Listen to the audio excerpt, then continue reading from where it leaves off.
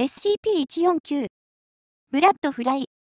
オブジェクトクラス、ケテル、特別収容プロトコル、SCP-149 は、すべて、監視のために密封されたプレキシガラスの箱に収容されます。酸素と栄養を含んだ霧を、収容所に2時間ごとに噴射してください。インシデント1491の後、SCP-149 が脱走した場合は、O512 の命令に基づき収容に関わるすべての職員に対し、プロトコル42チャーリーが適用されることになりました。説明 SCP-149 は、人細胞を卵のための栄養に変異させるレトロウイルス、以下 SCP-149A を持った蚊です。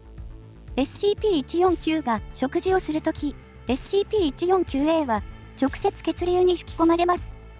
SCP-149A は即座に細胞核に働きかけ、DNA を歪めます。はじめに、細胞は脳種に非常に似た形に変異し、食道と副鼻腔に集まります。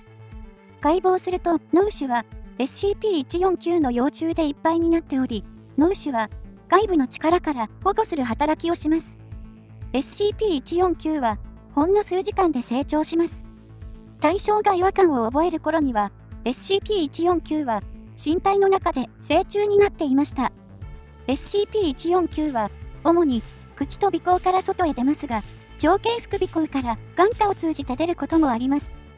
SCP-149 の感染は致命的で、感染率は1回刺されるごとに50%であると推定されます。ホイ、インシデント1491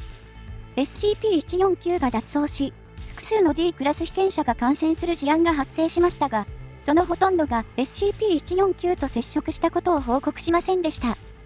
5時間内に SCP-149 は感染者の中で成長し、外へ飛び出るとさらに、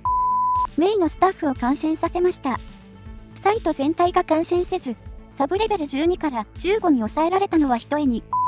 博士の素早い起点のおかげです。これに応じて、O5 司令部は、プロトコル42チャーリーを作成し、SCP-149 が脱走した場合に備えました。